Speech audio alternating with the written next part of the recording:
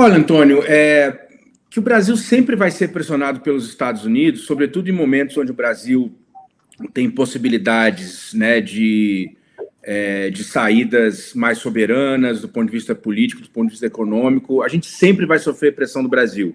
Né? O Brasil é o, é o, é o, é o segundo maior país do continente, é, é, é a principal economia da América Latina, então a gente sabe disso.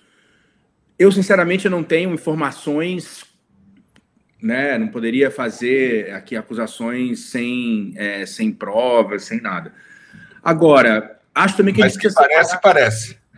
Eu acho que a gente precisa separar as duas coisas, porque é o seguinte: é, acho que no, na, no, na, questão da, da Venezuela, é, eu acho que o Brasil, o Brasil é isso, se meteu ali com, com os Estados Unidos. Em algum momento o Biden disse: não, a nossa posição é a posição do Brasil o que já é muito ruim, né? É muito perigoso isso. E logo depois o Blinken foi lá e, e, e desmentiu, reconheceu o candidato de oposição como presidente eleito. Mas enfim, eu acho que a gente tem que separar as duas coisas, porque no caso da, no caso da China, eu acho que tem uma disputa é, interna no governo. Não há consenso no governo a respeito disso. Eu já ouvi, é, já ouvi muita gente contrária e já vi muita gente a favor no, no governo brasileiro.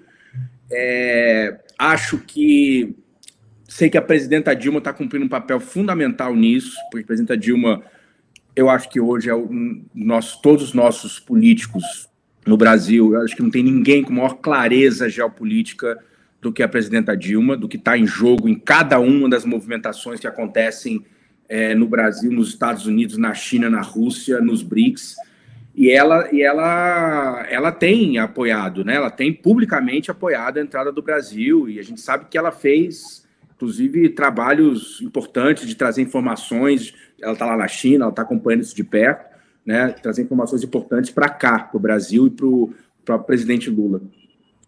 E acho também, Antônio, que o fato de que na semana anterior à cúpula, é, o Celso Amorim, o presidente do Banco Central, Galípolo e o Rui Costa, né, o ministro da Casa Civil, estiveram em Pequim. Não acho que eles tenham ido a Pequim para dizer que não iam entrar, não iam fazer parte, ou enfim, que não iam, que o Brasil não ia é, é, enfim, fazer acordos com a China. Eles não iam perder o tempo deles indo para lá só para dizer que não. Então, o que eu acho que está acontecendo agora, não acho, eu acho que tem pressão, e essa pressão foi expressa publicamente pela Catherine Tai, que é a secretária de Comércio dos Estados Unidos, que estava aqui no Brasil dias atrás e disse o Brasil tem que tomar cuidado com essa coisa rota seda, porque esses chineses, não dá para confiar neles. Então a gente sabe que a pressão ela é pública, inclusive. Se ela é pública, você imagina o que está acontecendo nos bastidores. Não há dúvida de que há muita pressão nos bastidores. Mas é, acho também que o Brasil, e essa fala do Celso Amorim também, também reflete uma tentativa de conciliar internamente também. Eu acho que não é não é consenso no governo brasileiro, é porque eu acho, inclusive, que, que falta muita informação. A gente até já falou sobre isso, Antônio, que você teve lá na China, né? Como a falta de informação que nós temos sobre, sobre China, sobre a própria Rota da Seda, o caráter do projeto, é, enfim, o que, que ele tem feito para os países. Então, acho que também tem muita falta de informação. Mas eu acho que, no fundo, o que o Celso está tentando fazer é isso: é achar um, um discurso que possa tentar ali conciliar com todas as pressões e os interesses envolvidos. Agora, o que eu acho que é importante mesmo, eu, eu, eu quero fazer análise, Antônio, do, dos acordos que foram, foram fechados, que eu imagino que eles vão aproveitar a vinda do presidente Xi Jinping, né, que vem para o G20, dia 18 e 19 agora de novembro, e dia 20 ele faz uma visita de Estado em Brasília ao presidente Lula. E os chineses, conhecendo os chineses, eles, eles vão querer anunciar coisas nesse dia. Aí, com a coisa anunciada, aí a gente faz análise sobre os, afinal de contas, se isso é bom ou não para o Brasil. Eu só acho que assim, a minha posição é, é para mim é muito claro, né?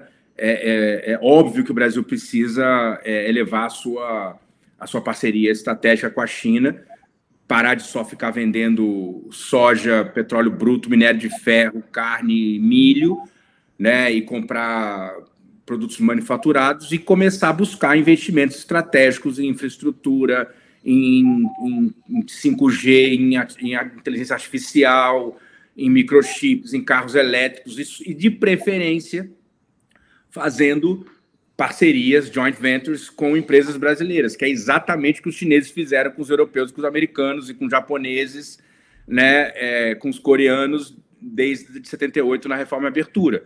A gente precisa aprender né, com uma coisa óbvia que os chineses fizeram e por isso que estão onde estão. Então, eu acho que é isso. A gente ainda por cima tem um problema estrutural de falta de, de dificuldade de financiamento né, no, a, no Brasil, com os juros né, escorchante que a gente tem hoje.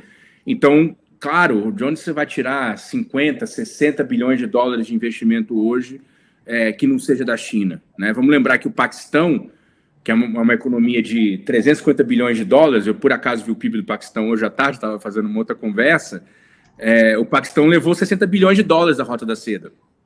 Quanto é que vale o Brasil? É, o Brasil, no mínimo, bota aí 150 bilhões, né? Então, é isso. Eu acho que tem uma, um potencial gigantesco. Nós precisamos também ter estratégia, que acho que isso faltou até agora. O Brasil não tem uma estratégia para a China até agora.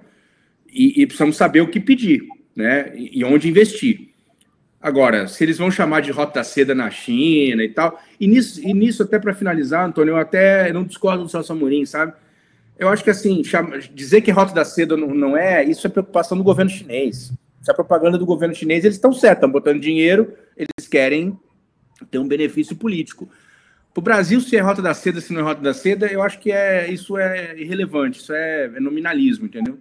O que interessa é a quantidade de investimento e as áreas, os setores estratégicos que esses investimentos vão, vão, vão produzir e o que, que isso pode alavancar a economia brasileira e, no fundo, o que, que isso pode alavancar a vida do povo brasileiro. Eu acho que é isso que importa.